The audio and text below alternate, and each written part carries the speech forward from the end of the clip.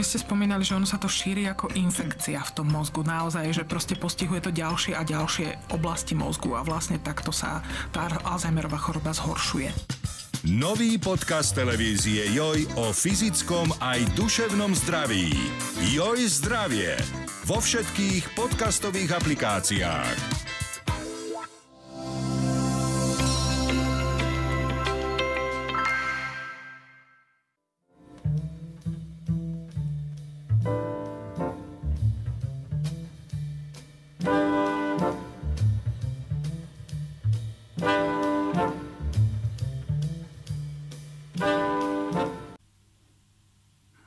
Ahoj Peter. Ahoj Arpad.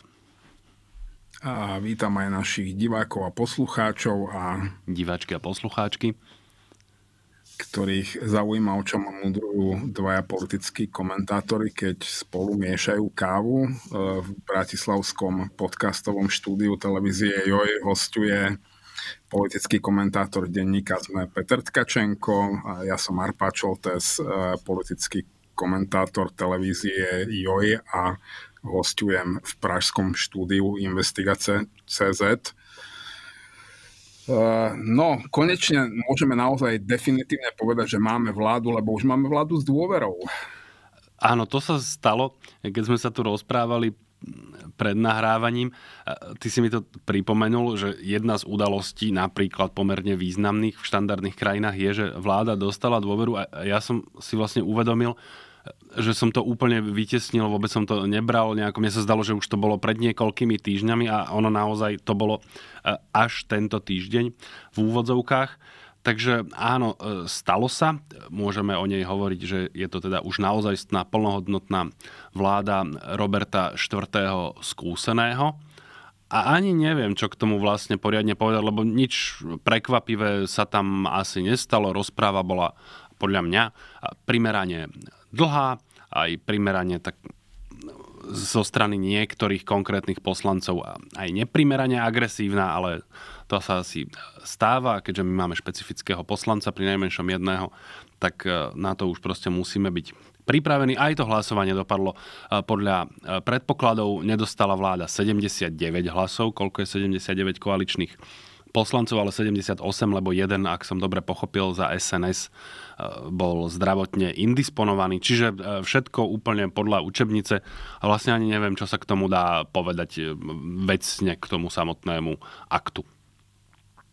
Ja som sa inak tak zľahka aj upokojil, lebo ono by sa zdalo, že na Slovensku máme treba zmieneného poslanca, ktorý bol dokonca krátku chvíľu aj premiérom, že, že to je naozaj absolútny extrém, že takíto ľudia by mali eh, byť mimo verejného života, mali by sedieť niekde, kde je teplo, sucho, dostatok tekutín a dobrá opatera. Ale E, zober si teraz v Argentíne si tiež e, zvolili nového e, tam je tuším prezidentský systém prezidenta, ale ne, nechcem to veľmi rozoberať, je to chlap, ktorý chodil na mítingy s motorovou pílou a má prezivku El Loco, čo je ekvivalent zhruba nášho Magor alebo, alebo niečo také. Čiže nie, nie sme ojedineli, zapadneme do akéhosi, zapadáme do akéhosi medzinárodného spoločenstva a v podstate je to poslanec, ktorého volič vždy vrhal do parlamentu ako taký politický ekvivalent skazeného vajca. Že na tu máte a teraz e, budete vy, papalaši v parlamente, musieť 4 roky žiť e, s tým smrádečkom, ktorý zo skazaného vajca uniká. E, naposledy si neuvedomili, že ho pustili rovno k moci. No. A máme tu teraz všetky výsledky a následky. Súhlasím aj s tým, že vlastne e, dôvera pre vládu nevyzerala ako obzvlášť e, dôležitá udalosť, lebo poprvé vláda sa už dovtedy správala, ako keby tú dôveru mala. E, postupovala, postupovala veľmi rýchlo a veľmi ráznými krokmi zbytočne neotáľala a bolo jasné, že keď je raz tá koalícia dohodnutá, tak dôveru azda na tom prvom riadnom rokovaní parlamentu dostane a vlastne neurobila nič neočakávané, aspoň teda z môjho pohľadu. Napadla mi predsa len jedna vec. Že sa to vlastne stalo všetko veľmi rýchlo. Čo opäť zapadá k tej mojej teórii, možno pre niekoho paradoxne, toho ich politického vandráctva, šlendriánstva, ako to flákajú to nie je v rozpore s tým, že to urobili takto rýchlo. Práve to podľa mňa e, to potvrdzuje, ako im na tom nezáleží, lebo programové vyhlásenie takmer bez výnimky si vláda na to brala tých e, celých 30 dní, kým ho predložila, preto aj e, to vyjadrenie dôvery bolo potom neskôr po viac ako mesiaci od jej vymenovania. V tomto prípade to bolo o niečo rýchlejšie ako po mesiaci, asi, asi o týždeň, čo mne sa zdá, že naozaj svedčí o tom, že oni k tomu nepristupujú s primeranou vážnosťou. To sa opäť nevylučuje s tým, že k tomu nepristupujú bez ráznosti. Toto to, to sa vôbec nevylučuje, ty si veľmi správne povedal, že teda o, oni sa vôbec nerozpakujú s najrôznejšími rozhodnutiami, asi sa aj k niektorým dostaneme. Ale, ale pre mňa toto zatiaľ je potvrdením toho, že k tomu nepristupujú e, s takou vážnosťou a serióznosťou, s akou by vo vlastnom záujme mali. Ako, mne to zase nemusí až tak prekážať. Ja myslím, nie som najväčší e, fanúšik tejto vlády e, na Slovensku. Len keď sa na to pozriem nezaujatými očami, tak si myslím, že oni škodia sami sebe a, a podľa mňa budeme mať priestor pomenovať aj, aj ďalšie podobné fenomény, ktoré o tom svedčia, ktorých sme boli svetkami za uplynulý týždeň. Ja by som stále zvážil aj možnosť, že to nemusí byť e, úplne šlendriánstvo, e, môže to byť e, normálna politická stratégia a čas ukáže, či bola správna alebo nesprávna.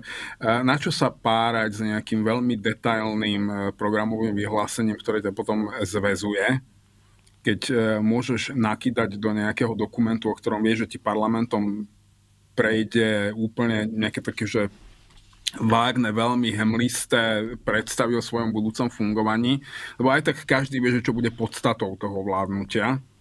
A to sa nedá napísať do programového dokumentu, lebo to ani papier neznesie. Čiže potrebuješ to urobiť tak, aby ťa potom nikto nemohol mlatiť po hlave, že robíš niečo úplne opačné a zároveň sa zbytočne nezväzovať nejakými programovými tézami, že to, toto je jedna z možností, ktoré za tým mohli byť.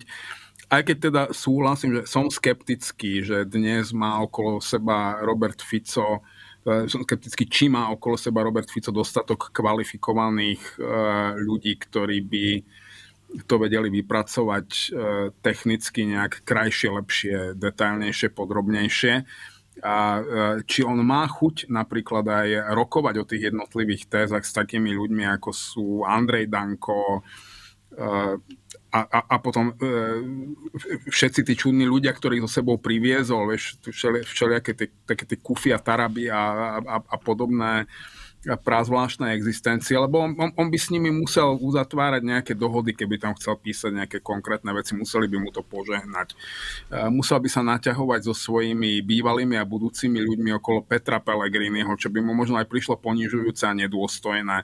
Čiže nemuselo to byť odfláknuté, mohol si povedať, že kašľať na to, parlament to schváli a potom to budem riešiť za pochodu je riešiť veci za pochodu je, je jeho najsilnejšia stránka. To, to vieme, že on ako stratég nestojí ani za fajku tabaku, ale zase je to naozaj veľmi obratný e, taktik a je to výborný technológ moci. To zase tomu nikto neúprie. Čiže on, on možno nepotrebuje naozaj nejaké pevné programové vyhlásenie, ktoré by bolo zväzujúce, pre ňo bude oveľa lepšie riešiť veci tak, ako budú rad radom prichádzať.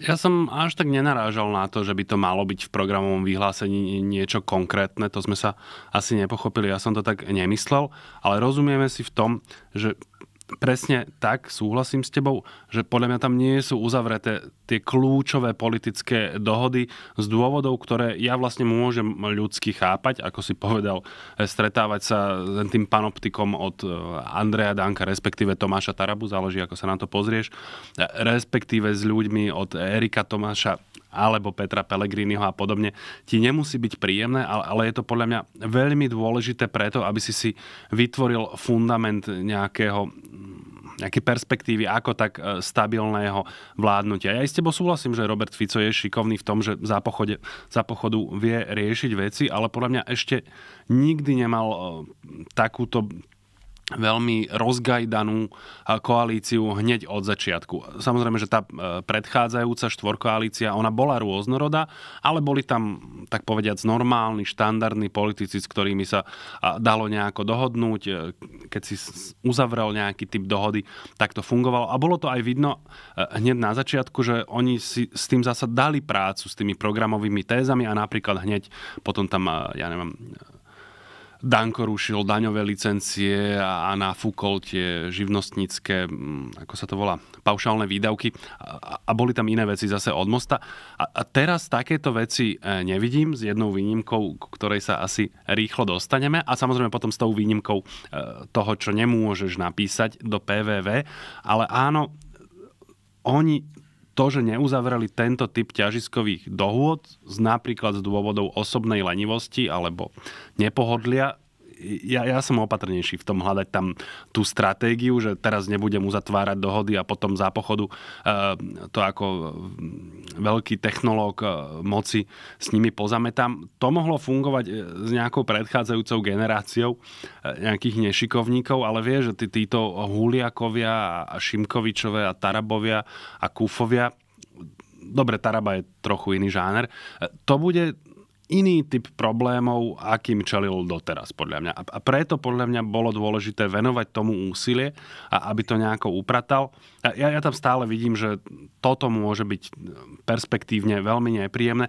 Napríklad, a, a to vlastne použijem na premostenie k druhej téme, Andrej Danko v prítomnosti Rudolfa Huliaka napríklad oznámili vec, ktorá sa zdala, že je dohodnutá a oni povedali, že oni kategoricky nesúhlasia s rušením e, tej odvodovej asignácie pre rodičov, tzv. rodičovský bonus alebo rodičovský dôchodok, čo Erik Tomáš vymyslel ako spôsob, aby ten ich 13. dôchodok nebol až taký fiskálny masaker, ale aby bol ten náklad treba o 300 miliónov eur menší, pretože prenesú tie peniaze z rodičovského dôchodku do 13. A to sa zdalo, že je na tom nejaký typ politickej dohody. Erik Tomáš o tom včera rozprával um, uh, v TV Joj pani Dybákovej, že on mal pocit, že s Andrejom Dánkom si na to podali ruku, že sú na tom dohodnutí a, a teraz uh, to zrazu neplatí. Tak budú musieť hľadať nejaký iný typ riešenia a toto podľa mňa ilustruje ten typ problémov, ktorým budú čeliť a na ktoré sa podľa mňa mali lepšie pripraviť.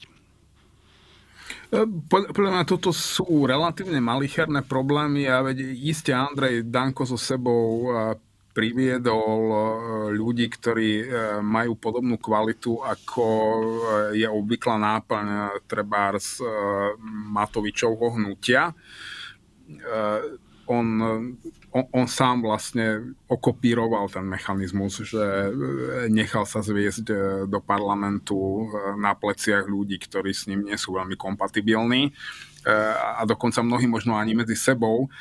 Ale zase treba povedať, že aj oni majú nejaké svoje, takne tomu hovorievame v médiách, že pozadie, hlavne Andrej Danko má nejaké svoje pozadie a ja vôbec nevylučujem, že Robert Fico je dávno dohodnutý práve s tým pozadím. Čiže ono, keď bude veľmi zlé, tak tam si zavolajú ľudí, ktorí sú dôležití pred verejnosťou na koberec k ľuďom, ktorí sú dôležití naozaj a oni potom veľmi rýchle vysvetlia, že kade tečú naozaj dôležité peniaze a čo je ich robota a čo už nie.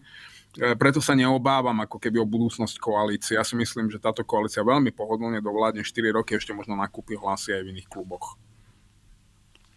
Dobre, to je zaujímavé, že máme tento typ e, rozporu. Ja, ja si myslím, že to dovládnutie e, bude oveľa problematickejšie tak môžeme ísť na tú druhú tému. Ja som to už tak e, okrajovo sa toho dotkol. To je e, vec dôchodkov, pretože ako si vravel, vláda ešte e, nemala dôveru a už sa s vervou pustila do nie malých zásahov.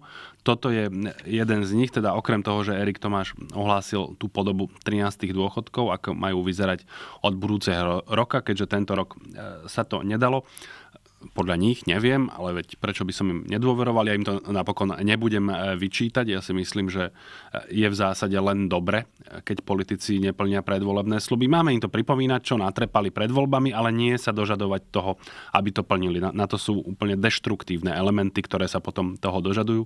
Asi toho elementa aj spomenieme. No, takže vymysleli, že tento rok dajú všetkým dôchodcom, a to naozaj, že všetkým, lebo väčšinou si predstavíme starobných, ale oni sú invalidní, a, a vdovci a, a, a siroty zrejme a, a všeličo podobné, tak povedali, že dajú všetkým po 150 eur a keďže do nich Igor Matovič strašne búšil, vidíš, už sme elementa spomenuli, že to je strašne málo a okradli dôchodcov a neviem čo, tak oni povedali, že dobre, tak to bude 300 eur. A už to stihli aj predložiť do parlamentu. Samozrejme, ako inak e, v skrátenom legislatívnom konaní, k tomu potom tiež možno bude mať jednu poznámku. A už to aj e, stihli schváliť. A k tomu mám ešte jednu poznámku, že všade sa píše o tom, že nebude to 150, ale 300 eur, alebo teda len o tých 300 eurách. A už sa zase úplne zabudlo, že pri najmenšom starobní dôchodcovia, toto sa priznám, že tu nie som úplne dobrý, tak tí už dostali jeden ten tzv. malý 13. dôchodok, alebo tak, čo ešte schválila Matovičová vláda namiesto toho predchádzajúceho, čo je od 50 do 300 eur. Čiže dôchodcovia dostanú nie že 300 eur, ale od 350 do 600. A toto podľa mňa ilustruje to, že od tých 50 a 300 vlastne už nepadlo ani slovo, že to už ani nestojí za reč. Teraz už sa rozprávame o tom, že a koľko 100 eur ešte navyše vysypeme zo štátnej kasy. Opäť dlho hovorím, ale teda poslednú vetu a prešlo to nejako 90 plus hlasmi. Čiže našla si, našla si táto. Toto púšťanie žilov štátnemu rozpočtu v parlamente pohodlnú ústavnú väčšinu a podľa mňa to do veľkej miery ilustruje, čo sa bude diať, keď má tento spolok, lebo napríklad pridajme k tomu, k, tomu, k tým deštruktívnym elementom aj pri najmenšom Oľano, čo sa bude diať, keď takíto poslanci majú v parlamente 90 plus hlasov. Uh, no už uh, mne sa na tom páči jedna vec, že mne to prípada tak, ako keby Robert Fico alebo jeho ľudia sami podliehali tým mytológiám, ktoré o nich vytvárajú oponenti. Napríklad, že ich volia iba dôchodcovia. Čo je samozrejme úplná sprostosť, že ich typický dôchodca je, teda, že ich typický volič je dôchodca, ako asi ich volia aj dôchodcovia, ale to im naozaj podľa mňa nevyhráva voľby majú obrovské mesto vidieckého a malomestského voliča alebo vidieckého voliča, ak teda akceptujeme realitu, že na Slovensku sú dve veľké malé mesta, Bratislava a Košice a, a, v tom zbytku je naozaj životný štýl a mentalita viac vidiecká ako mestská tak e, na, naozaj na tom vidieku ich volí kde kto e, vrátane vzdelanej strednej vrstvy. A práve tá vzdelaná stredná vrstva nebude veľmi nadšená, keď e, je jedného dňa doslova skrachuje štát. A to, toto by mohla byť taká achilová peta tejto sociálnej politiky zameranej na nesprávne skupiny obyvateľstva. Ale ako hovorí Robert Fico, e, keď robí chyby niekto, koho nemáš rád, nemal by si ho pritom vyrušovať, nie? Teraz máš na mysli, že nemáme smer vyrušovať e, pritom, alebo teda tú koalíciu, ako e, demoluje štát? To by som ich teda no... ako povyrušoval. Lebo toto nie je Dobre, vec... vyrušujeme teda. To by som teda povyrušoval, lebo to, ja som totiž e, mal k tomu takú poznámku jednu na Twitter a, a dvaja, traja občania sa tam ozvali, že veď vlastne to je nejakým takým úchylným spôsobom, že dobre, lebo čím skôr ten štát skrachuje, tak tým skôr sa nad ním pretrhne vlasec s tým damoklovým mečom a budeme to musieť postaviť nejak od začiatku a zodpovednejšie a že to vlastne bude lepšie, čo mne asi aj trochu skrútilo brucho, lebo dobré ľudia ako ty a ja, ty úplne bez pochyby, štátny bankrot Slovenskej republiky e, nejako zvládneme bez toho, aby sme drasticky trpeli, ale to je pre pre veľkú časť spoločnosti to je naozaj niečo hrozné, veď sme to mohli sledovať na, na príklade Grécka. Teraz to už niektorí ľudia skoro až roztlieskávajú, že aký je to vlastne super príbeh, že oni majú teraz rozpočtové prebytky a vlastne ako super hospodária, že už im rastie HDP, hej, ale, ale to HDP je stále asi, ja neviem, teraz nech ma nikto nechytá za slovo, lebo to naozaj idem trestnúť, ale treba, že o 20% nižšie alebo 30 ako, ako v, pred tou krízou v roku 2009, odkedy uplynulo takmer 15 rokov. Vieš, že to je ťažko to rukolapne povedať, ale tam dôchodky strašným spôsobom klesli. Platy vo verejnej správe, to, toto sa dotýka naozaj všetkých vrstev spoločnosti a je to taký otraz, ktorý si naozaj, verte mi, e, nikto z nás neželá. Za žiadnych okolností, preto je to také nebezpečné, preto bijeme na poplach. Samozrejme, že ten krach nepríde ani o pol roka, ani o rok a dosť možné ani opäť, ale proste keď budeš týmto tempom rozhadzovať tie peniaze a, a ľuďom sa bude zdať, že stále málo a jeden z opozičných lídrov to bude roztlieskavať, napríklad to naozaj bolo vidno, ako sa Igor Matovič z toho úprimne až detsky teší, že sa urobil ďalší polkúročik k tomu bankrotu a vyzýva teda vládu, aby ešte pridala, lebo ako hovorí Jim Hacker, moja obľúbená postava zo seriálu Áno, pán minister, že keď, keď to ide s krajinou z kopca, tak potrebuješ niekoho, kto sadne za volant a, a dupne na plyn. Takže takýchto tu máme ľudí. A ešte jednu poznámku som chcel k tomu elektorátu Smeru. To to je naozaj že e, bokom od tejto témy, ale z hodou okolností som si to nedávno trochu pozeral, že ako vyzerá elektorát Smeru presne v mestách, osobitne samozrejme v Bratislave a potom na tom ich tradičnom e, vidieku. A robil som to aj preto, lebo som si pamätal, že aké obrovské rozdiely boli vo výsledkoch Smeru, treba v roku 2012, ktorý oni dosiahli ten vrchol, ja neviem, 44%. Ale to bolo v Bratislave tak, že oni aj v Bratislave síce vyhrali, ale ten výsledok bol niekde hlboko pod polovicou toho výsledku a naopak, keď si sa pozrel na také okresy, že Svidník, Snina a tak, to sú naozaj tie ich bašty, tak tam to proste atakovali naozaj také fantastické čísla, že 70%. Hej, že ti to kolísalo od 20 po 70 keď si pozrieš tohto ročné výsledky Smeru, tak naozaj, e, samozrejme, že tam sú rozdiely a, a sú viditeľné, ale, ale strašne sa to zúžilo. Že aj Smer proste v tých svidníkoch e, nedosahuje 40-50%, ale treba v porovnaní s tými 25 či 4 to bolo treba niečo na 30 a v Bratislave samozrejme po 20, ale ale ten rozdiel proste nebol taký obrovský. E, prepač, zase som dlho rozprával.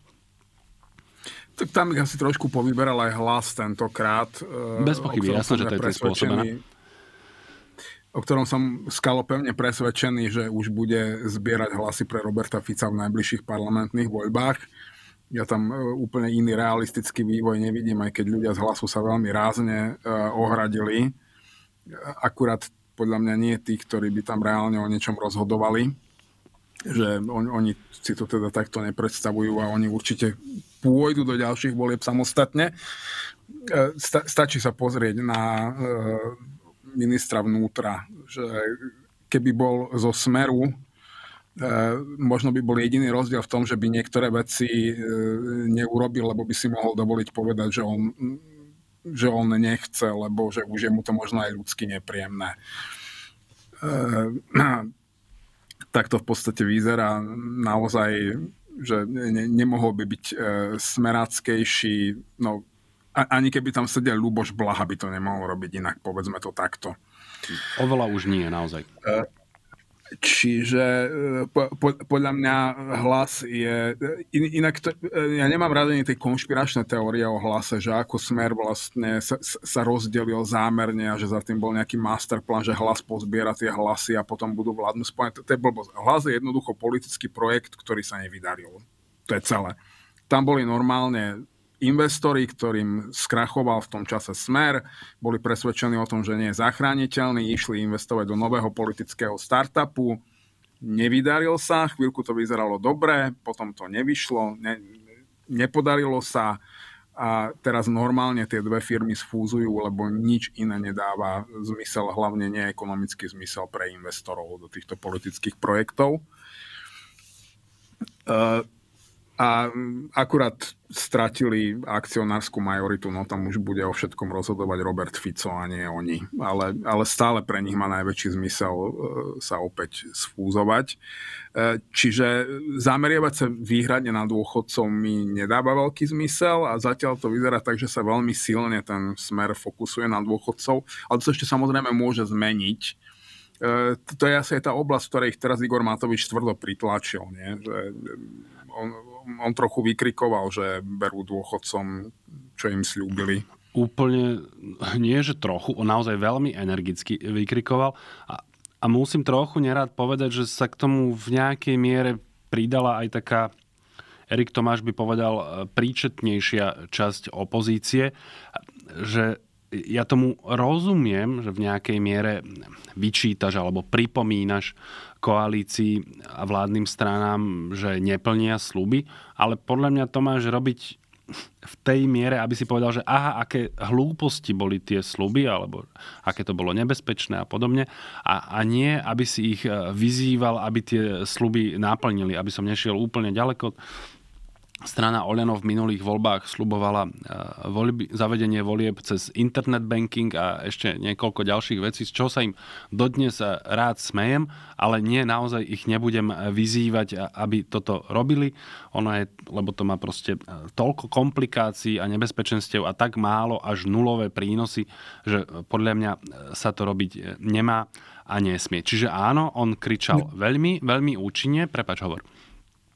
Ja len chcem, to, toto je technická odbočka, že my sme sa hrozne smiali Igorovi Matovičovi, že voľby cez internet banking, lebo keď to povieš takto, tak je to e, kapitálna sprostosť. Ja som si práve teraz tuto v Českej republike uvedomil, zistil som, tu keď máš bankový účet, tak e, si v rámci neho vieš vytvoriť bankovú identitu, ktorá je verifikovaná identita a ty cez ňu môžeš naozaj komunikovať so štátnymi inštitúciami ako keby s overeným digitálnym podpisom.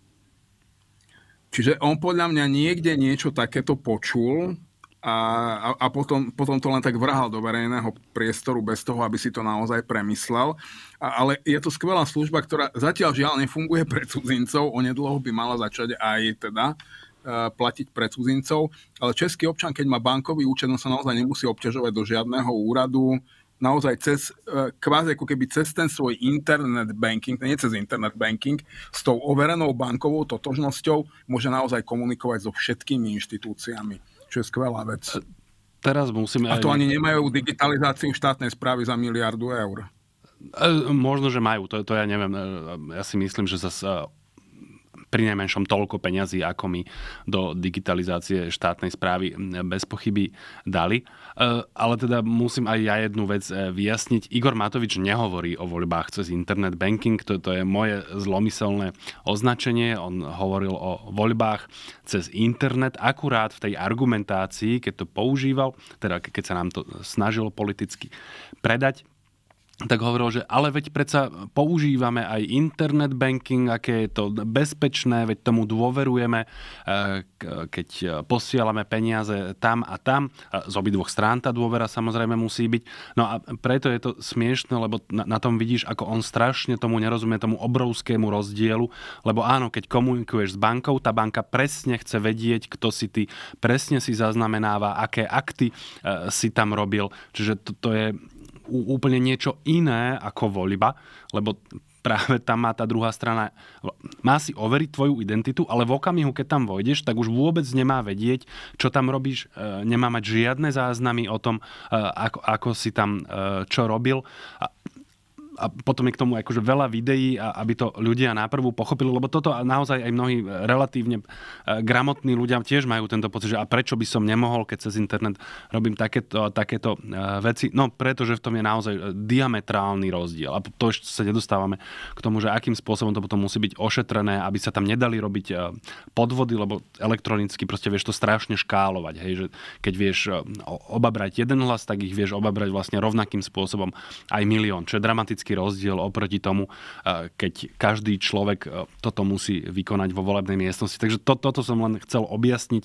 Že Igor Matovič nehovorí o voľbách cez internet banking, ale proste my zlomyselní ľudia sme mu to takto do úst vložili, aby sme tým počiarkli absurditu jedného z jeho mnohých nápadov to je dobré, že si to vyjasnil, lebo ja som ti to automaticky uveril, lebo vlastne sa nedá vymyslieť e, taká sprostosť, ktorú keď vložíš Igorovi Matovičovi do úst, tak nedokážeš uveriť, že ju vyslovil.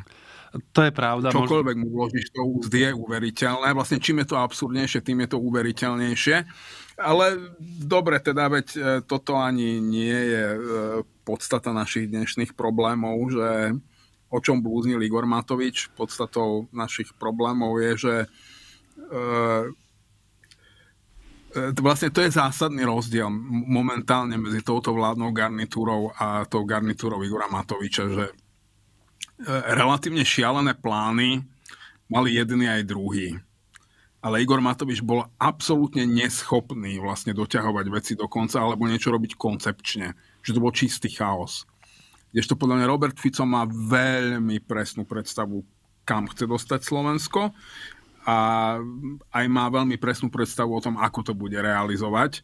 A e, výsledok e, sa bude viac páčiť fanúšikom Igora Matoviča, než jeho odporcom sa obávam. Myslím ten výsledok Roberta Fica, lebo oni sú vlastne, hodnotovo oni sú úplne kompatibilní.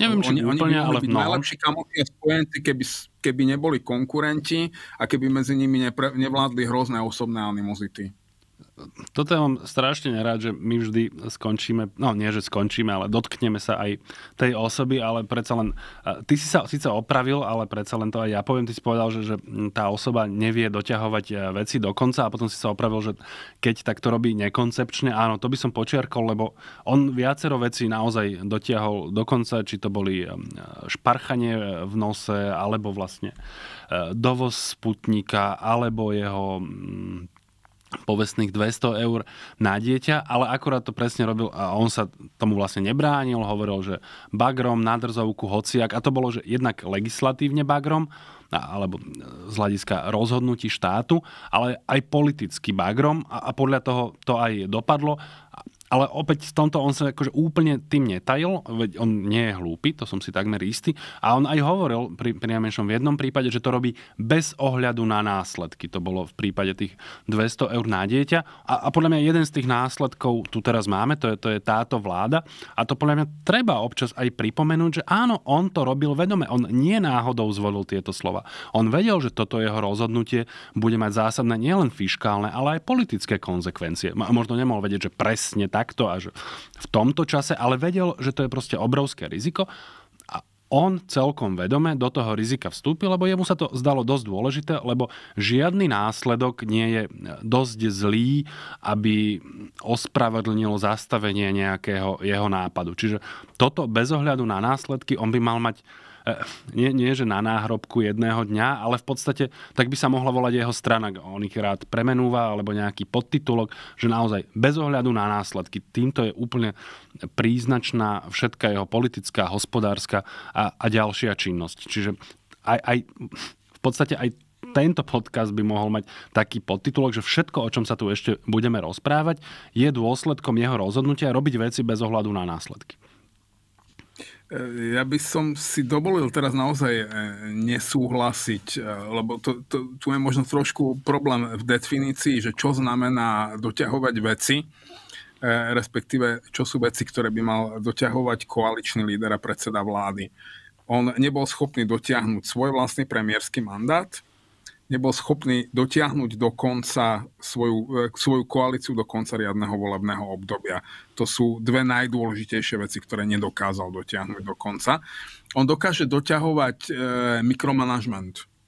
Že si predstav, že e, z teba urobia riaditeľa fabriky na traktory a tebe sa naozaj podarí dotiahnuť do konca to, že upratovačka bude vysypávať odpadkové koše 4 krát denne alebo vždy, keď budú do jednej petiny plné, čo nastane skôr.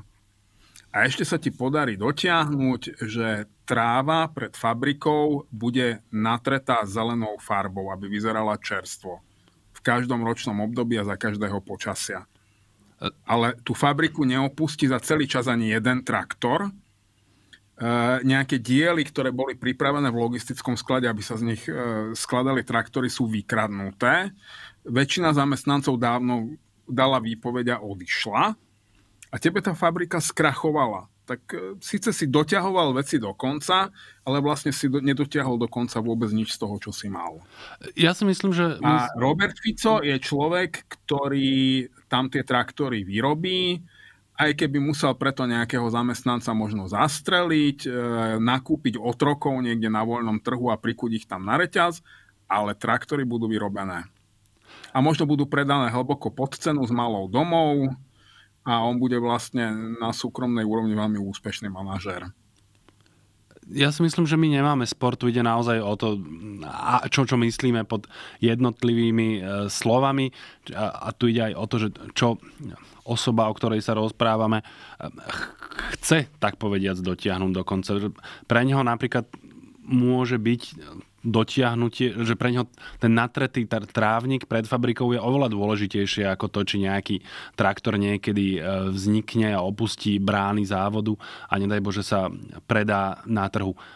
Čiže takto treba vnímať aj to jeho pôsobenie pri tých sputnikoch a šparchadlách a, a neviem čom. On proste chcel mať tento typ pomníčkov a, a vravím, on si vlastne vedome povedal, že, že bez ohľadu na následky to robí. Ak to má stať toto, tak e, nech to stojí e, je, jemu ide o realizáciu jeho dobrých nápadov, či už sú to tie koše alebo trávnik. Čiže mne sa zdá, že, že tu na spor nemáme, len si treba vždy povedať teda, že, že čo je to, čo on chce do, dotiahnuť do konca. A tiež som nehovoril, že všetko dotiahne do konca, len sme sa mu roky smiali, že vlastne chrlil nápady a, všeličo, ale teda výsledok bol nula keď on tu moc získal, on niektoré veci naozaj dotiahol, že to naozaj nebola čistá nula, to by sme mu kriudili, on dokázal štátu ublížiť pomerne intenzívne, mnoho vecí v tomto smere dotiahol do konca.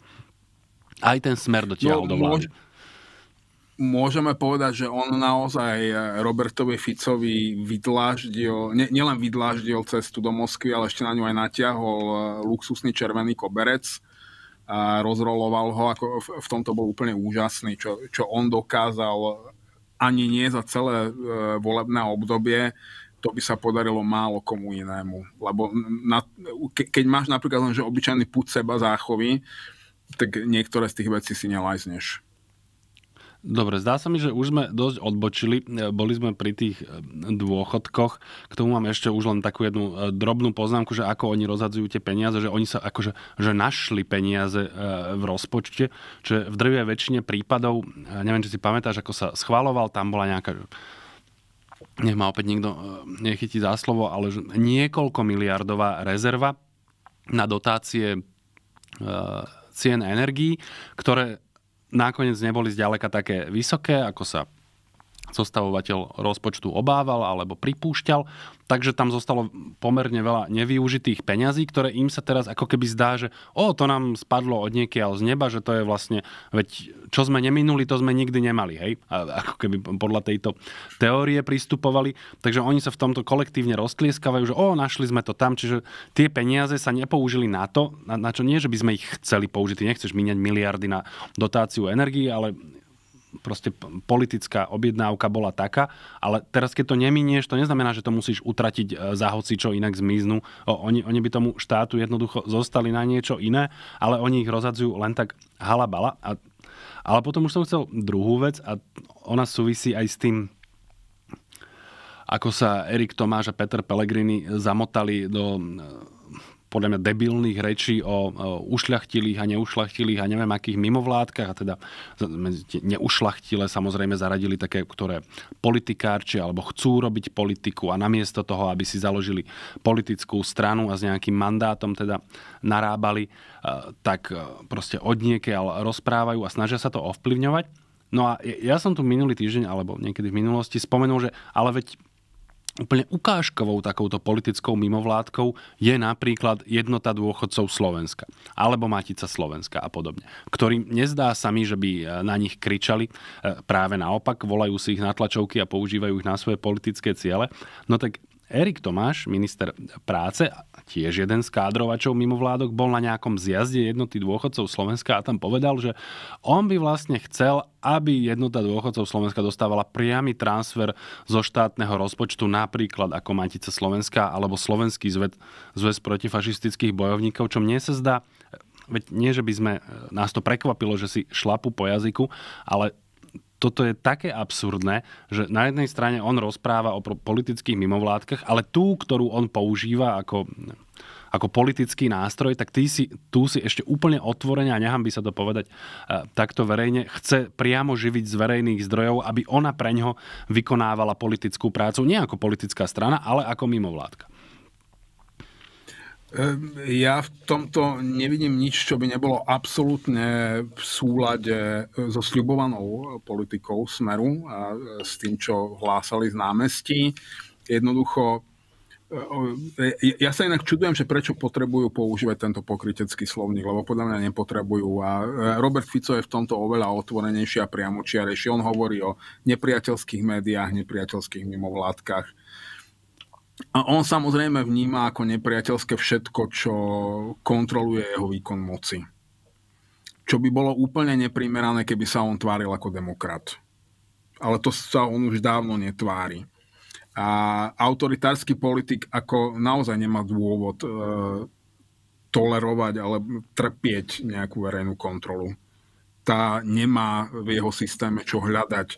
Čiže toto sú normálne technokratické kroky na to, aby si podchytili tú, čia, tú časť nejakých e, mimovládnych štruktúr, ktoré im budú pomáhať e, propagandisticky a zároveň budú hľadať mechanizmy, aby zlikvidovali tie časti uh, otvorenej občianskej spoločnosti, ktoré oni vnímajú ako nepriateľské. A podľa mňa ich vnímajú právom, lebo v konečnom dôsledku Robert Fico a jeho strana sú tie typy politických subjektov, ktoré keď začneš dôsledne kontrolovať a kontroluješ ich uh, v reálne fungujúcom právnom štáte, tak oni zrazu cítia, že je ohrozená e, nielen ich politická budúcnosť, ale ich osobná sloboda.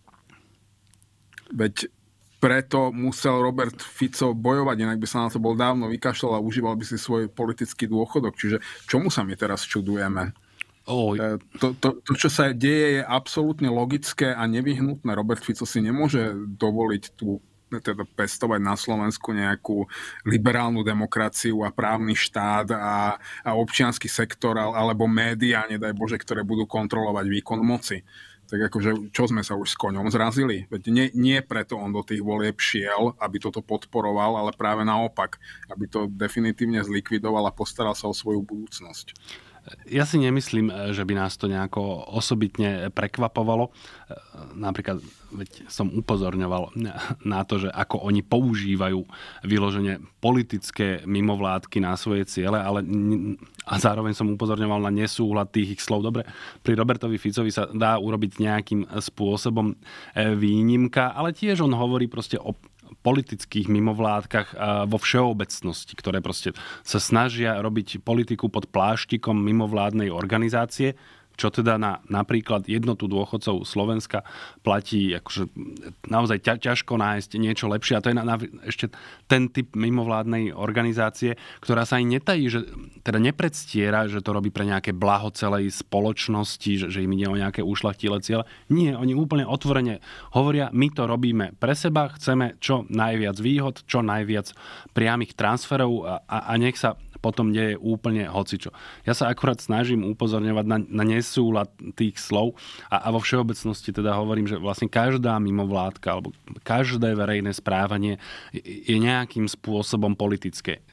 Isté nie všade až tak vypuklo, e, ako pri jednote dôchodcov Slovenska na čele. Ináč to je zábavné, ten ich e, predseda Michal Kotian má titul RSDR, čo som zistil vďaka tomu, že som si pozeral nejaké materiály a on tam má uvedené, že DR a vtedy mi už vždy zabliká kontrolka, lebo aj na vysokej škole sme mali jedného takého učiteľa, ktorý sa za trochu hambil, takže on si písal, že dr. A to keď vidíš, že dr, tak teda ak to nie je priamo e, doktor e, Clementis alebo doktor Tiso, čo je z iných čias a inak sa to dávalo, ale ak sú to tieto e, kádre, ktoré vieš, že mohli žiť a pôsobiť za komunizmu, tak vieš s vysokou istotou, že to nebude ani RNDR, ani PHDR, ale že to bude celkom bezpečne e, RSDR.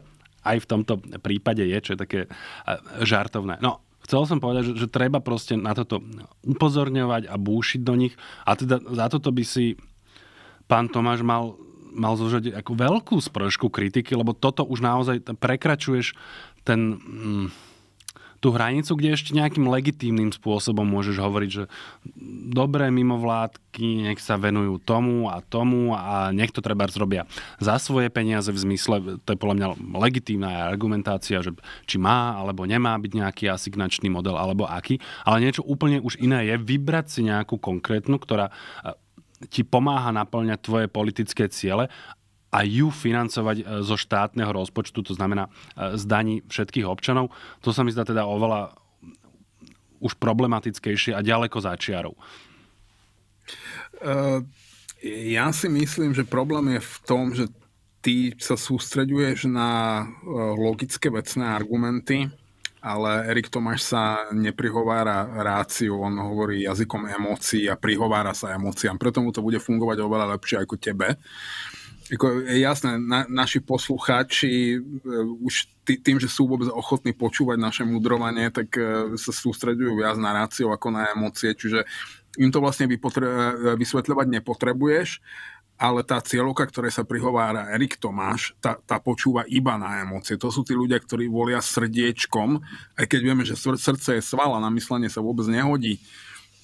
A v tejto rovine to bude nádherne fungovať, navyše tam naozaj je cieľ eliminovať všetky mimovládky, ktoré by nejakým spôsobom mohli naozaj efektívne kontrolovať uh, a ešte po prípade aj odhaľovať pred verejnosťou spôsob výkonu moci. Tie tu nemajú čo hľadať v tomto systéme, ktorý sa práve buduje a podľa mňa tu majú veľmi peknú inšpiráciu teraz v smere. Myslím, že práve včera, predvčerom eh, predložili do maďarského parlamentu návrh ústavného zákona na ochranu národnej suverenity. A vieme, že Viktor Orbán má ústavnú väčšinu, čiže ten zákon samozrejme prejde hovorí o zriadení e, úradu na ochranu národnej suverenity a ono je to vlastne taká ako keby, že nacionalistická inkvizícia, ktorá nebude skúmať e, tvoje náboženské presvedčenie, ale to, či nie si v styku s nejakými zlými nemaďarskými živlami. A keď áno, tak má právo ťa vyšetrovať, klásť otázky, dožadovať sa podkladov, dokladov, dokumentov a čokoľvek chce.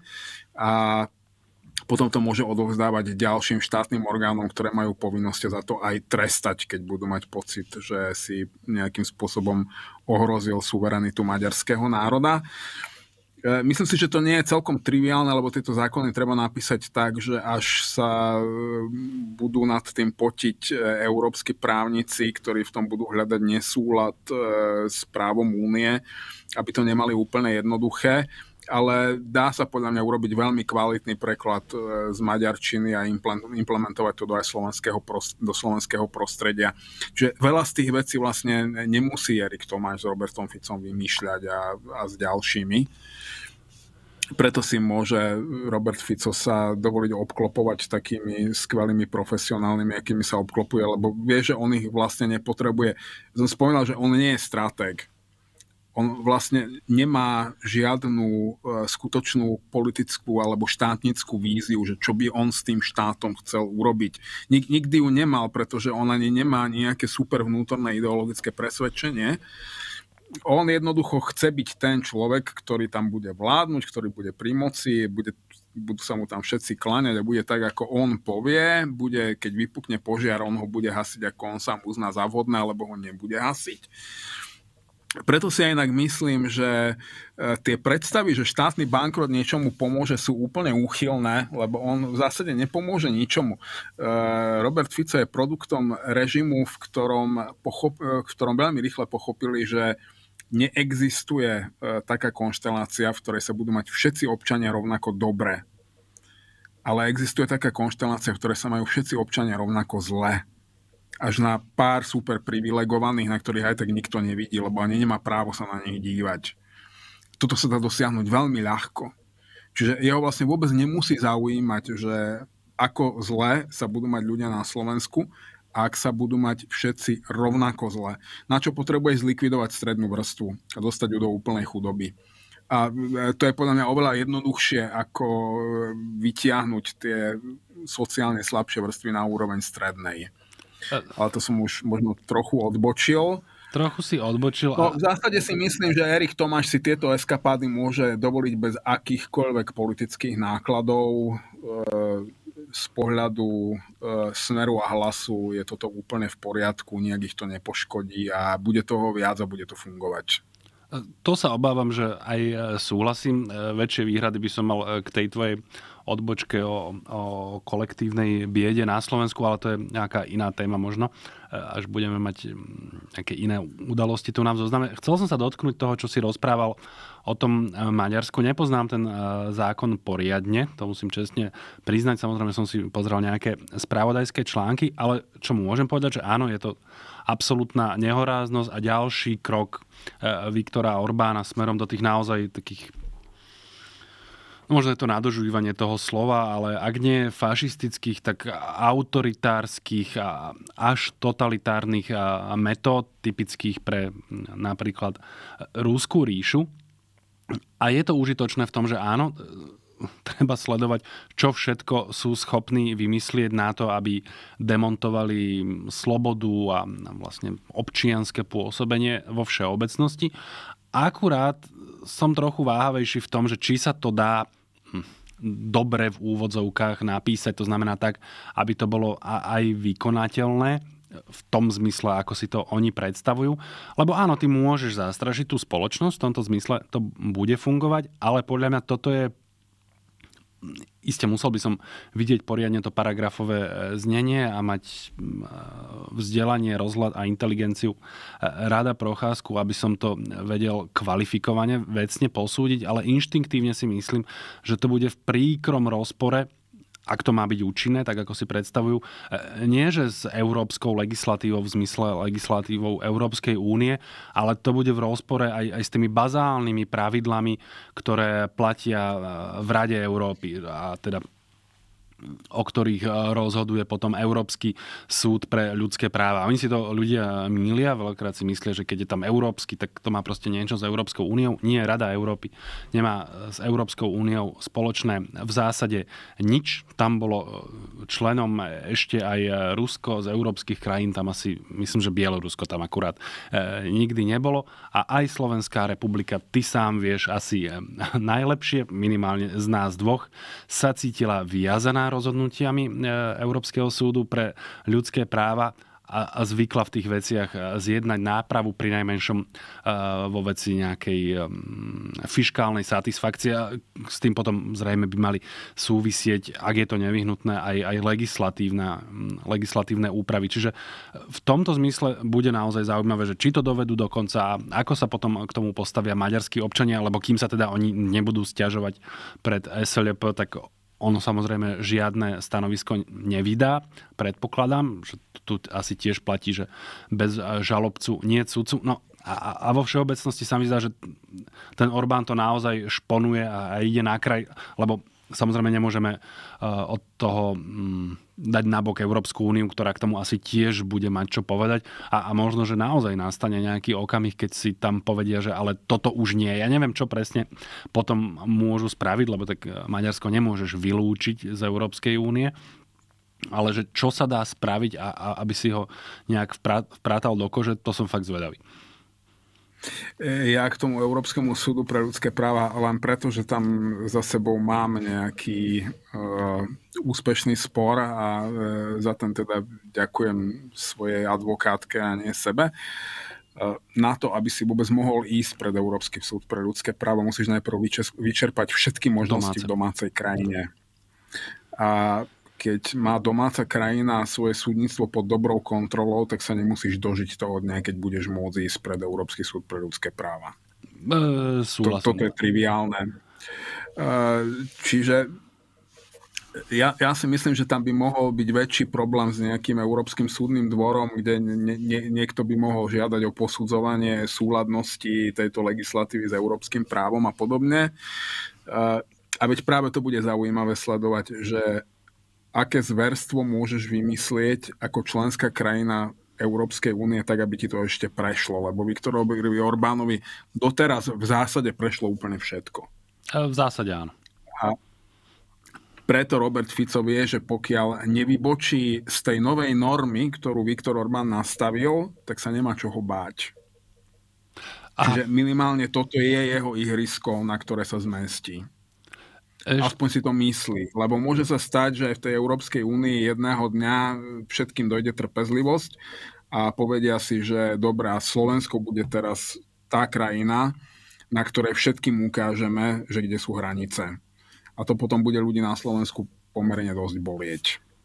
Je to možné. Ešte jednu poznámku, to som zabudol k tomu, čo som rozprával predtým, lebo ty si spomínal nejako, že akí sú skutoční e, nepriatelia v mimovládkach tejto koalície, respektíve e, napríklad e, osobne Roberta Fica, že o ich likvidáciu sa budú usilovať. Len tam som skeptický opäť v zmysle z ich pohľadu akým spôsobom sa to dá realizovať, lebo naozaj rozšírením možnosti asignácie, ku ktorej podľa mňa ani nepríde a, a keby aj oni si tam nebudú chcieť e, páliť prsty, tak e, sa postarajú, aby tie mimovládky tie peniaze dostávali aj tak. Ale aj keby, e, tak týmto spôsobom ty nezlikviduješ tie mimovládky, ktoré nemáš rád, oni žijú z iných zdrojov, iným spôsobom a, proste budú ti robiť zle tak či onak. Tie môžeš, ako ty vravíš, zlikvidovať naozaj až pomaly ani nie, že Orbánovskými, ale už skôr tými putinovskými spôsobmi a tak ďaleko ešte nie sme. Ja chcem dúfať a veriť, že ani nebudeme. Ešte tam bolo kľúčové slovo. Ja, ja si myslím, že Robert Fico je naozaj odhodlaný a na rozdiel od Igora Matoviča aj schopný doťahovať veci do konca. Tentokrát to dotiahne do konca. Ja si myslím, že E, do roka vieš e, zmeniť krajinu na nepoznanie a potom až ďalšie tri na to, aby si ľudia zvykli, že toto je nová norma a úplne zabudli, ako to bolo pred tými štyrmi. A už ti to nemusí nijak e, prekážať ani pri voľbách, zvlášť keď sa ti podarí upraviť veci tak, aby si v nich nemal veľkú konkurenciu. A to, je práve tá občianská spoločnosť, je permanentný generátor disentu a budúcej politickej opozície. Toho sa, toho sa musíš zbaviť, keď chceš vládnuť autokraticky. To je jednoducho to je nevyhnutný krok, ktorý musíš absolvovať. A je naozaj len otázka, že akým spôsobom to chceš urobiť, nakoľko špinavo, nakoľko tvrdo alebo drsne, alebo či sa chceš tváriť trošku mekšie a milšie.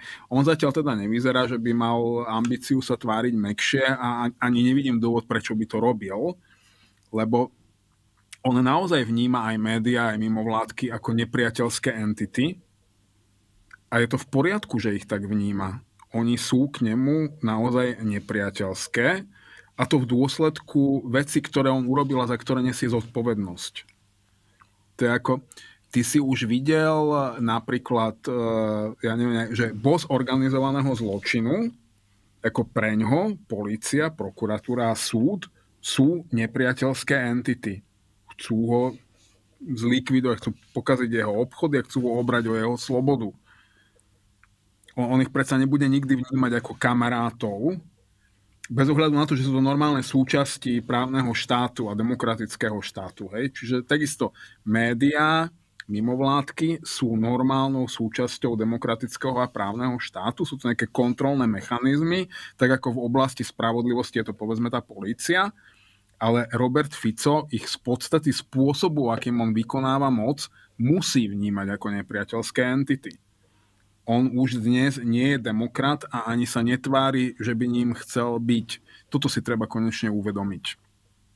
Myslím si, že to pre väčšinu z nás nie je úplne novinka. Ja, ja sa ani nečudujem, že vníma tie médiá a, a tretí sektor ako, ako nepriateľský, alebo čas toho tretieho uh, sektora. Ono je to aj dobré inak lebo e, ako takto, ty by si chcel, aby prišiel niekto, a, a nie Robert Fico, lebo to my sme hlboko pod jeho rozlišovacou schopnosťou, asi predstav, že by prišiel niekto ako Ľuboš Blaha a potľapkal by ťa po pleci, že dobrá práca, pán Tkačenko.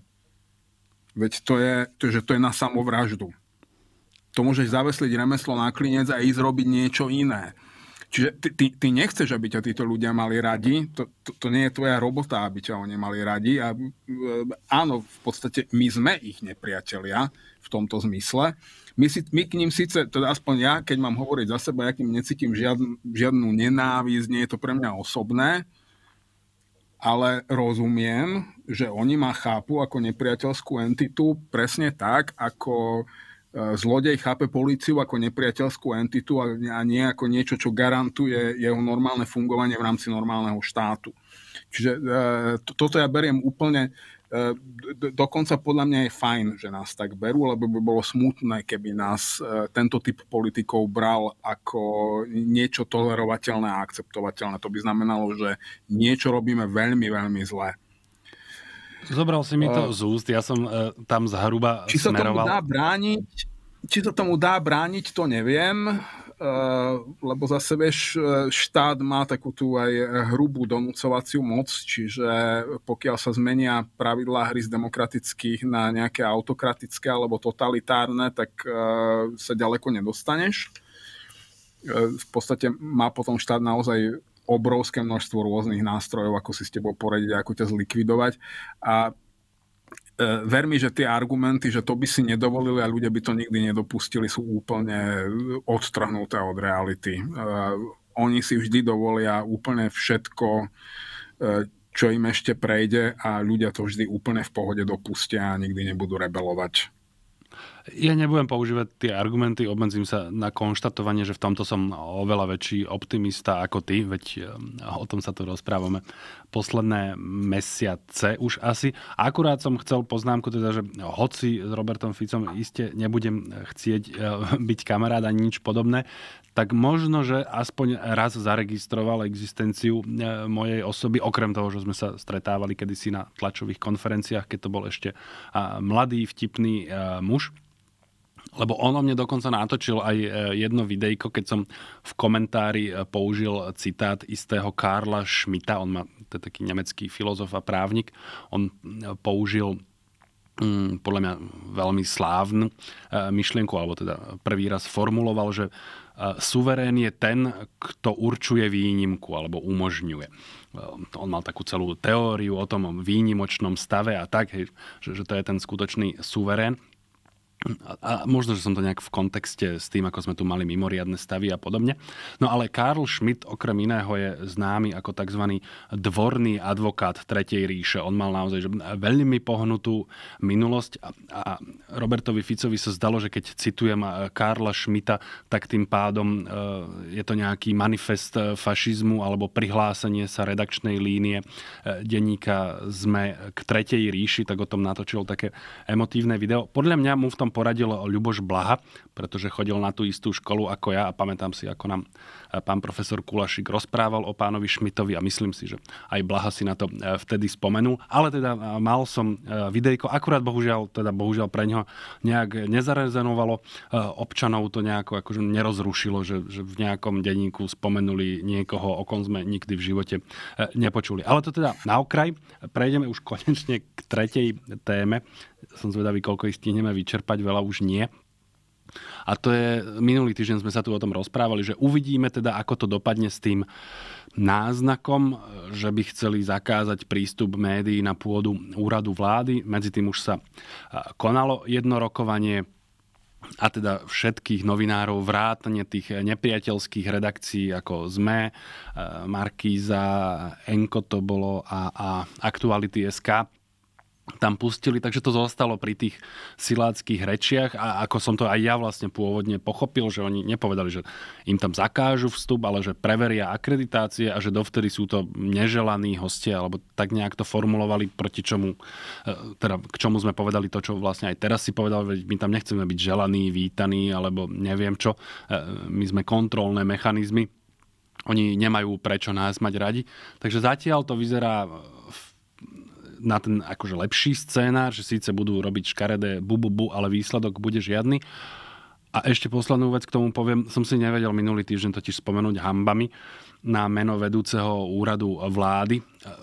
Pozrel som sa, respektíve spomenul som si po relácii, je to mladý ľavičiar, alebo teda aspoň bol šéf mladých ľavičiarov Smeru, Juraj Gedra, možno už si to málo na, na neho e, spomenie, ale on bol ešte kedysi asistentom Andreja Kolesíka a potom urobil veľmi peknú kariéru za tretej e, vlády. Smeru stal sa totiž členom predstavenstva MH Management, to je taká štátna firma a možno si niekto spomenie, že tam bola taká kauza o nejakom advokátovi Bžánovi, ktorému za vyhratý súdny spor priznali, alebo v tej, podľa tej zmluvy, z tej zmluvy vyplývala multimiliónová odmena a teda pán Gedra bol jeden z tých, čo za to niesol politickú zodpovednosť, musel vtedy opustiť e, rady MH manažmentu, našťastie s odstupným, takže sa mu to znášalo o niečo e, lepšie, ale vidíš, máme ho späť.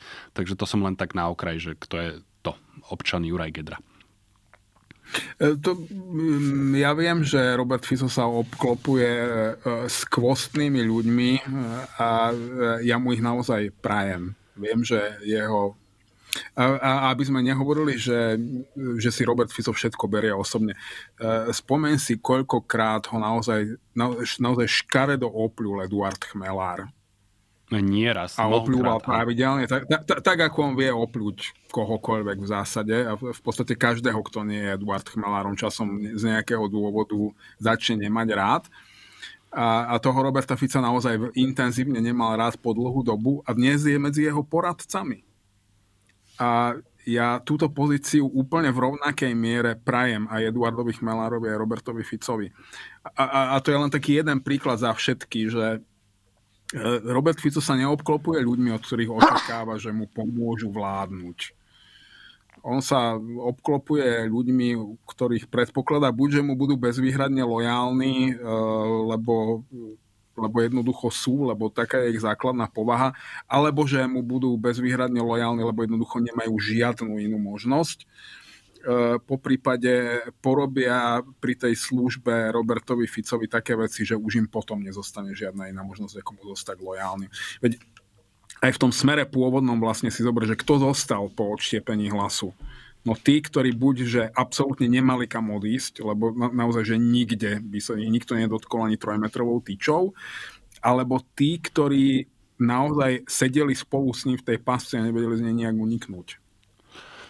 V zásade to sedí. Nápadne mi e, jedna výnimka, e, o ktorom sa uvažovali, že uvažovalo, či nerozšíri rady e, tej Pelegriniho 11, ktorá sa odtrhla v parlamente na, na 12, a to je Jaroslav Baška, taký pomerne úspešný ich župan a káder, o ktorom sa mi zdá, že on sa aspoň navonok tak javí, že on je menej rustikálny, to znamená menej xenofóbny a bigotný a, a, a podobne a, a homofóbny ako to jadro smeru, ale že podobá sa trochu viac na takých európskejších socialistov, trochu, ale teda ten predsa len zostal pri Robertovi Ficovi, napriek tomu, že on teda, aspoň ja si myslím, že vtedy mal a aj teraz ešte stále má nejaký politický výtlak a, a perspektívu na o niečo samostatnejšiu e, politickú kariéru. V zmysle nie je úplne odkázaný na Roberta Fica, tak toto e, poviem, ale to, to nemá, to je vlastne povestná výnimka, ktorá potvrdzuje pravidlo, v zásade e, sedí to, čo si vravel.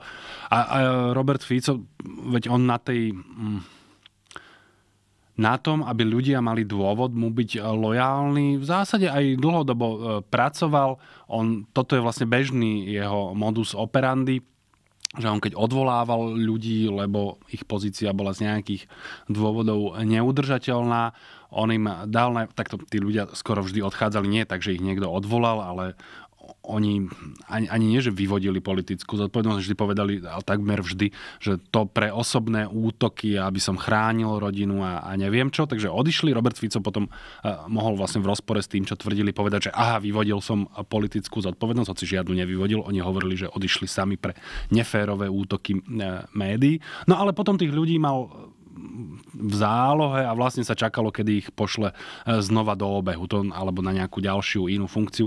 To robieval dlhodobo a v tomto zmysle e,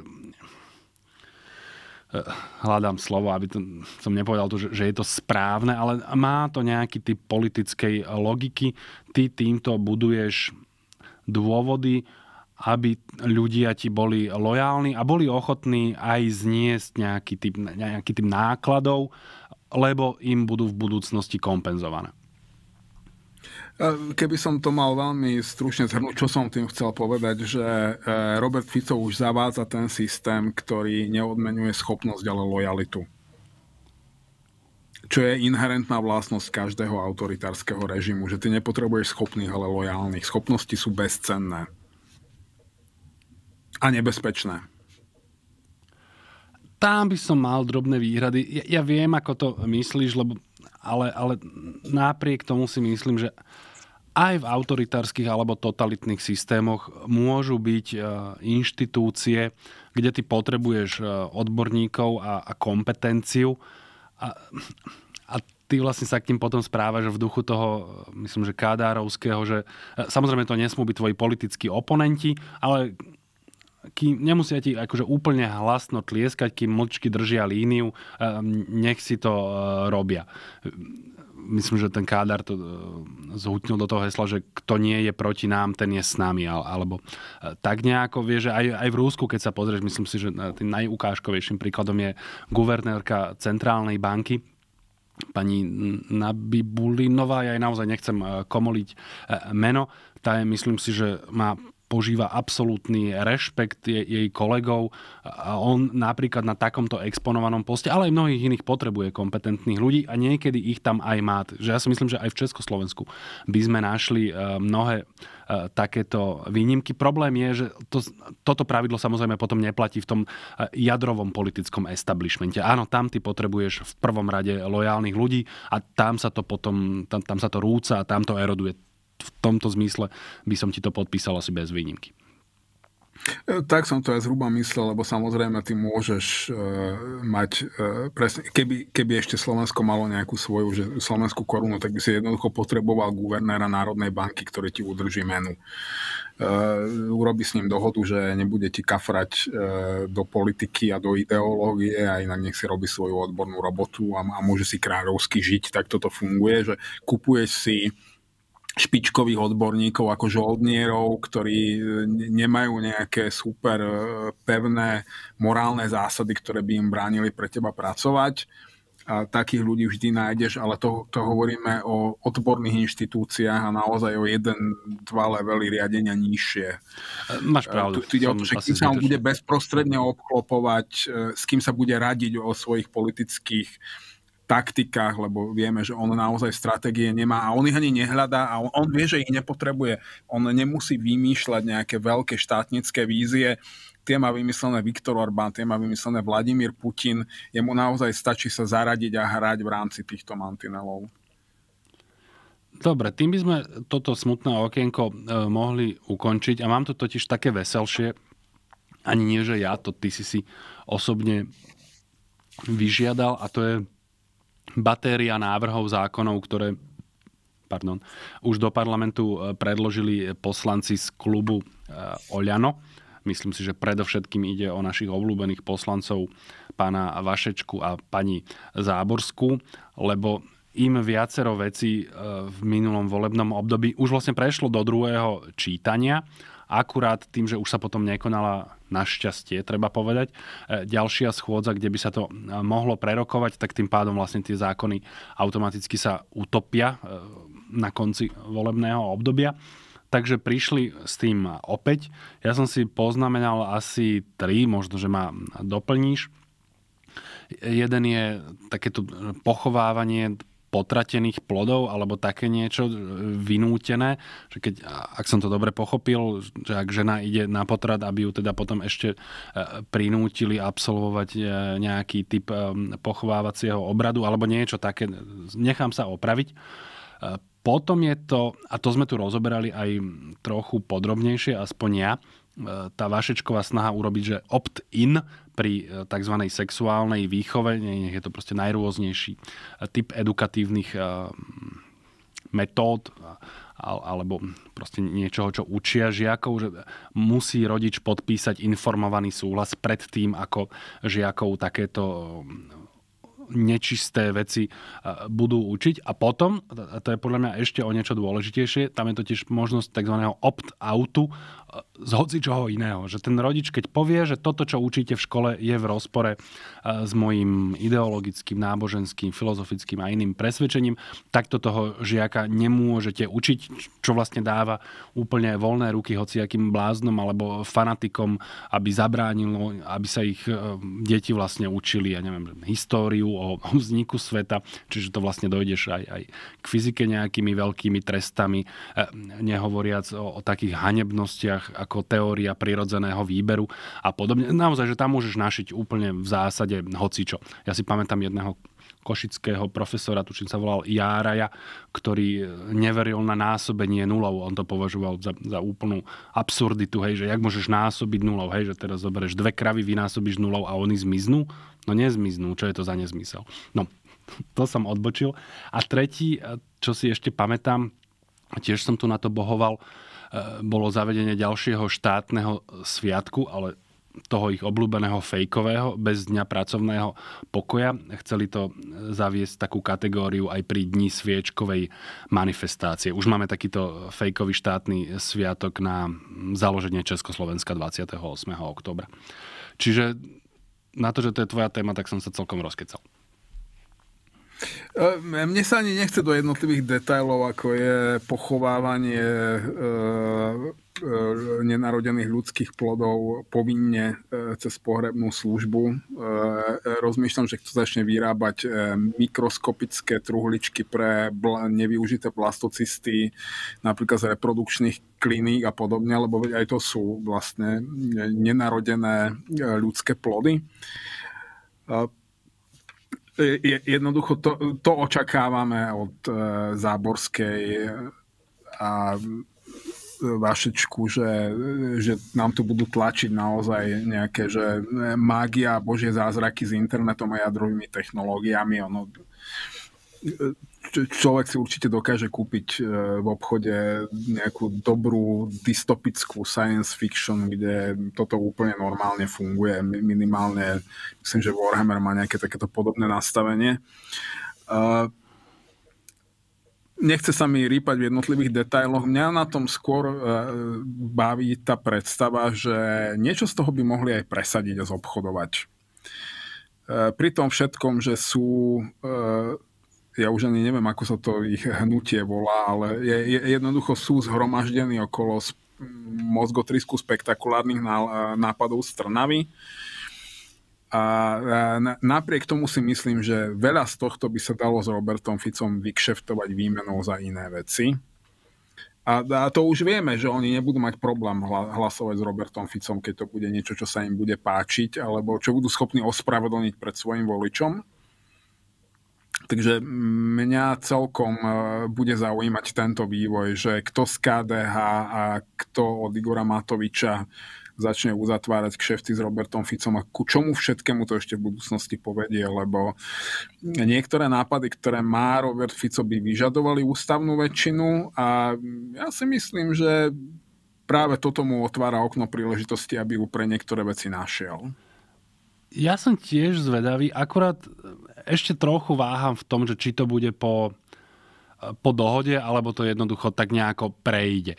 Lebo napríklad aj Robert Fico ne, nemá celkom veľký dôvod podľa mňa zasahovať do toho, aby tieto návrhy Oľano neprechádzali v tom prípade, keď e, voči ním e, nebude mať nejakú e, väčšiu výhradu. Nezabudnime na to, že som spomínal, tie návrhy už raz prešli síce v inom parlamente, v minulom volebnom období, ale ak si dobre pamätám, pri najmenšom za časť z nich hlasovala nejaká časť, a, myslím si, že pomerne veľká, smeru, takže prečo by to vlastne nemohlo teraz prechádzať? Keď si pozriem na to v tomto smere ideologicko hodnotové nastavenie poslancov, tak mne sa zdá, že medzi Oľano, KDH, veľkou časťou Smeru a prakticky celým klubom SNS, prečo by sme tam, aké tam vlastne nájdeš e, rozpory. Nemám teraz v hlave, ako vychádzajú tie počty, ale už by to nejako e, napríklad, keď tam aj nebudú e, všetci poslanci v pléne, mohlo tou tzv. vetrákovskou väčšinou prejsť. A, a pre Roberta Fica to môže byť v nejakej miere užitočné. Je, jemu osobne určite nejak neublíži, keď sa tu znekvalitní školská výučba alebo sa zasiahne do práv žien, ideálne keď sa im nejakým spôsobom skomplikuje a poničí toto jemu. On, on má na, na ženy teda trochu iný pohľad než na občianky a, a osoby, ktoré chcú hľadať šťastie. Ešte napríklad v prípade toho návrhu o, tý, o tom opt-inne a opt-oute v školách napríklad môže e, urobiť zle Tomášovi e, Druckerovi, lebo to je naozaj dosť brachiálny e, zásah do, do školskej výučby. Čiže ja som na toto zvedavý a pokojne to môže prechádzať vlastne aj, aj bez nejakých e, dohôd a zároveň to vytvoriť aj priestor na to, aby uvažovali potom už tak nejak e, formálnejšie a štruktúrovanejšie nad tým, koľko oni majú e, vlastne zhôd a kde všade sa prekrývajú ich hodnotové nastavenia, čo dá potom priestor tým dohodám, o ktorých ty si hovoril. Tam, tam by to chcelo opt-out z celého slovenského školstva, pokiaľ ti naozaj záleží na budúcnosti tvojho dieťaťa. Ale iné som chcel, podľa mňa nesprávne kladieš otázku, že čo by na tom mohlo Robertovi Ficovi prekážať na tejto legislatíve, alebo prečo by jej mal brániť. Na, na to naozaj neexistuje jediný racionálny dôvod, prečo by on týmto nápadom bránil. Ale otázka znie podľa mňa úplne inak. Prečo by im dával niečo zadarmo, keď vie, že od nich niečo bude potrebovať? Môže byť, iste, ale niekedy to tak proste vidíš, že prechádzajú tieto veci niekedy aj zadarmo. Napríklad preto, že to vytvorí ten priestor na, na budúce dohody. Vieš, že podáš niekomu tak povediac prst a, a potom mu povieš, že aha, ty toho môžeš dostať aj oveľa viac.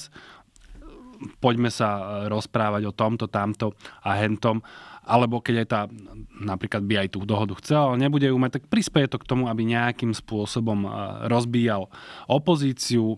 Proste môže mať z toho výhody aj e, bez tej dohody. Ja nehovorím, že ona nebude alebo nemôže byť to, ani náhodou, pokojne to tak môže byť, len vravím, že existujú aj, a máme na to aj precedensy e, za minulého vládnutia Smeru, keď nejaký typ takýchto návrhov prechádza aj tak povediať zadarmo.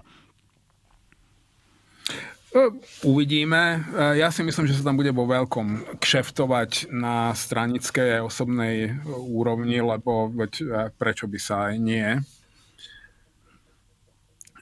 ale uvidíme. Toto nepotrebujeme nejakým spôsobom prognozovať, lebo na toto si naozaj stačí počkať. To celkom úplne stačí. Zostáva nám necelých, no poviem radšej 5 ako 10 minút tak môžeme ešte veľmi stručne k napríklad kandidatúre Petra Pellegriniho, lebo a asi toto si dajme. Potom tam mám takú e, drobnosť, že e, štátny tajomník Ministerstva životného prostredia spoločne s ministrom pôdohospodárstva sa zatvorenými dverami na akomsi zjazde oznámili úmysel zrušiť e, Národný park Malá Fatra, čo teda ja, ja nie som úplne najväčší milovník slovenskej alebo inej prírody. Ale toto sa mi zdá, že to by mohlo aj neprejsť. Toto je naozaj e, e, taký nápad, lebo to, to nie je nejaký z tých národných parkov, ktoré by schválili po nejakej, e, neviem akom lobbingu, neviem koho posled, za posledné dva roky. To som sa aj ja ešte na základnej škole učil, že máme Národný park Malá Fatra, čiže to asi ešte niekedy aj komunisti zaviedli, že to nebude také jednoduché zrušiť. Čiže ten Pelegrini sa mi zdá zaujímavejší, ak som pozeral toho Erika Tomáša. Ja som len chcel k tomu Prepač. Národnému parku parku, že e, prečo sa párať s jednotlivými národnými parkmi, keď e, oni plánujú urobiť rezerváciu z celého Slovenska. E, rezerváciu so skanzenom. To je trochu zábavné, tak ja iste nechcem byť súčasťou skanzenu, ale to je trochu iný žáner, vieš, že skanzen je taká kultúrno-historicko sociálna e, záležitosť. Národný park má slúžiť na ochranu prírody, čo je predsa len trochu iné, vieš, že ľudia vlastne sa vyčlenili z prírody, takže zdá sa mi, že, že je to trochu iný žáner. Ale ako vtip samozrejme úplne uznávam, že keď tu budeme e, my všetci Národný park Slovensko, tak potom už nepotrebujeme takéto menšie inštitúcie. A k tej Pelegriniho kandidatúre, no on sa tak stále tvári, že on si to ešte musí nechať prejsť hlavou a musí si to rozmyslieť, ale uh, podľa toho, čo sa naozaj hovorilo aj v politických uh, kuloároch, ktoré ja nemám veľmi rád, lebo sú hrozne manipulatívne a každý ti tam tlačí svoje kaleraby do hlavy, aby ťa nejakým spôsobom ovplyvnil. Ale toto bolo úplne zrejme, že naozaj po volebnej noci uh, boli takto rozdané karty, že Robert Fico sa zbaví a vlastne aj samotný hlas sa zbaví Petra Pellegriniho, ktorý sa stal veľmi nepohodlným pre všetkých zúčastnených tým spôsobom, že ho kopnú vyššie do prezidentského paláca a tie dva subjekty sa potom veľmi komfortne sfúzujú a nejako to už svojim voličom vysvetlia a zdôvodnia. Čiže e, všetky tie rituálne tance okolo tej jeho e, kandidatúry mne prídu také, že veľmi až, až, až očarujúco zábavné a smiešné. Ja neviem, či sa tá fúzia e, podarí, ale tá ambícia tu zjavne je. Bolo až trochu a, a vlastne tak ľudsky ma to uh, hrialo. Dokonca aj Roberta Fica, keď vidím, že sa na niečo teší, tak, tak aj, aj mne to dáva. Vieš, dobro sa proste šíri, alebo nejaká dobrá nálada tak oni mali snem 17.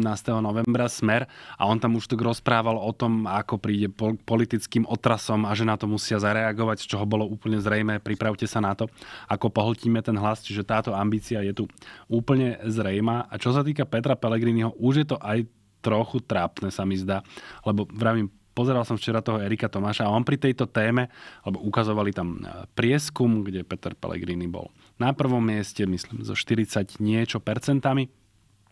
A ten Erik Tomáš, no, on samozrejme zvažuje a cíti záväzok. A politici by vlastne mali robiť to, čo voliči chcú. Čiže on ako keby už sa nám snažil forsírovať, že ten Peter Pellegrini vlastne, čo on chudák má robiť, keď tí občania chcú, on je vlastne politicky povinný kandidovať, keď má v prieskume 40%. Obeď. O, obeď skoro, vieš. No toto je také trápne. Ja, ja normálne rozmýšľam, že či toto sa im proste nevyplatí. Lebo toto zase je podľa mňa politicky akože hlúposť a sprostosť. Ty sa nemáš čo tváriť, že, že ja vlastne nechcem a pýtajú si ma. Nie, no tak som politik, tak kandidujem so svojimi predstavami, pretože ja si myslím, že som dobrý kandidát, pretože ja si myslím, že chcem robiť dobré veci. To je vlastne všetko. Uh, to, to, som len chcel povedať, že vlastne Peter Pellegrini sa chystá urobiť tú chybu, ktorá sa mu už raz stala osudnou. Že on sa nedokázal stať lídrom po tom, čo opustil Roberta Fica.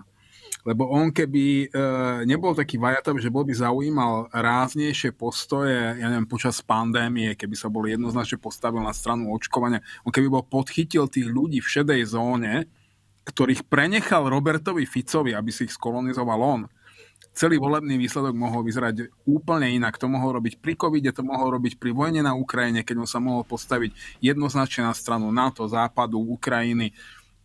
On naozaj mohol za sebou strhnúť tú masu, ktorú nechal na pospas Robertovi Ficovi tým, aký on bol vajatavý, zbabelý, e, voskový, beztvarý, a teraz sa chystá urobiť to isté, že namiesto toho, aby sa postavil a povedal, že no a kto iný tu má byť prezidentom, keď nie ja, keď ja necítim žiadnu nenávisť ani k jednej strane tej pomyselnej barikády, som schopný komunikovať s jednými, s druhými, mojou ambíciou je nejakým spôsobom ich spojiť, aby sa mi tu ľudia v krajine nevraždili a chcem byť prezidentom všetkých. Toto je tá poloha, v ktorej by on ešte stále mohol byť do veľkej miery uveriteľný pre všetkých. A on keď tu bude vajatať, e, vymýšľať, e, špekulovať, čakať, kedy ho tam niekto za rukáv dotiahne, tak bude vyzerať presne ako ten e, vajatavý Dilinko z dediny, ktorý sa ostýcha na námestí vo veľkom meste zaspievať pesničku na pódiu, no a nezvolia ho, lebo Slovensko nemá rado vajatavých slabochov. No, už tu ukazujem na hodinky, toto už použijem Vlastne asi ešte dám e, záverečné slovo k tomu. On, oni by ti povedali, že on sa skúsil niekedy ráznejšie e, postaviť napríklad e, vo veci západného ukotvenia a dostal, dostal dve, tri facky, tak si to potom rozmyslel. Ale teda rýchlo ešte dobré správy. Ja mám jednu stručnú. Slovensko postúpilo na majstrovstva Európy, čo je pekné. Ono sa to stalo ešte minulý týždeň vo štvrtok, ale prednahrávali sme, takže pre nás je tu novinka. Ukrajinci si ešte budú musieť počkať na baráž. Toľko za mňa dobré správy. Uh, prepač, ja som, uh, ja už keď ty hovoríš dobrú správu, ja sa vypínam, lebo viem, že je to futbal. No Ale dobre, no bola z futbalu. Máš 27 sekúnd, rýchlo. Ehm, dobre, dobrá správa je, že ešte stále môžeme pokračovať, čiže ja sa na všetkých teším aj na budúci piatok. Dovidenia a do počutia. Dovidenia, ja budem dovtedy, ako na ihlách. thank you